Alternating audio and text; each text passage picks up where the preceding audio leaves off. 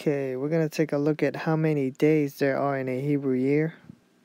This is chapter 6 of the book of Jubilees. Verse 32 says that the children of Israel were commanded to observe the years according to this reckoning 364 days. These constitute a complete year and they will not disturb its time from its days and from its feast, for everything will fall out in them according to their testimony, and they will not leave out any day nor disturb any feast. In other words, if the calendar is less than 364 days or more than 364 days, then Yah's people would disrupt the seasons, the months, the weeks, the days, the feast days, etc. Now we know that the Gregorian calendar, they have an extra day or two as far as the days that make up the year. They add a day every so often during February but the true number of days in a year is 364 days. This is the calendar the Creator gave to His people for them to observe while on earth. So if you keep reading on to verse 33, it says that if they do neglect and do not observe them according to His commandment, His commandment, Then they will disturb all their seasons, and the years will be dislodged from this order, and they will disturb the seasons, and the years will be dislodged, and they will neglect their ordinances. Verse 34 And all the children of Israel will forget and will not find the path of the years, and will forget the new months and seasons and Sabbaths, and they will go wrong as to all the order of the years. So it's very important that we keep the calendar 364 days and not 365 or 366 like the Gregorian calendar.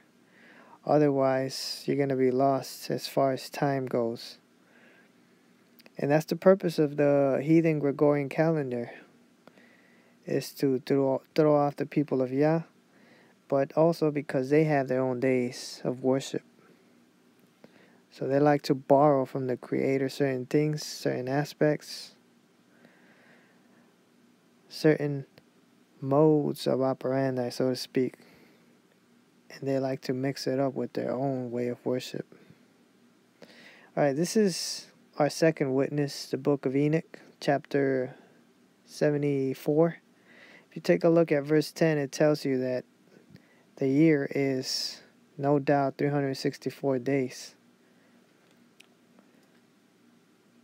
Nothing more, nothing less. It says here in verse 10 that, and if five years are added together, the sun has an overplus of 30 days, and all the days which accrue to it for one of those five years, when they are full, amount to 364 days. So, one out of five years amounts to 364 days. In other words, one year is 364 days. And here it is again in verse 12.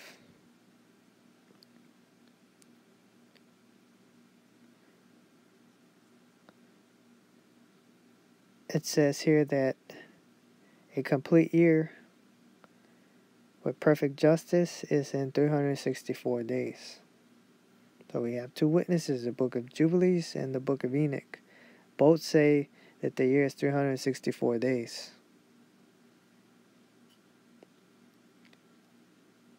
Okay. This is chapter 82 of the book of Enoch, verse 6. Again, the year is completed in 364 days. The account thereof is accurate, and the recorded reckoning thereof exact. Okay? So there it is. Don't go by the Gregorian calendar.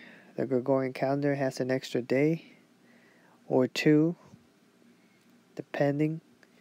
So if you want to get the proper timing on the Sabbaths, the weeks, the months, the years, then go by the 364 day year, not 365 or 366, okay?